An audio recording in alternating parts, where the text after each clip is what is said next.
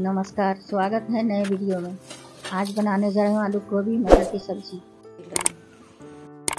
कढ़ाई में तेल डाल रहे हैं। जीरा और तेजपत्ता का फोरन और प्याज डाल दे रहे हैं। प्याज को भुनना है ब्राउन होने तक।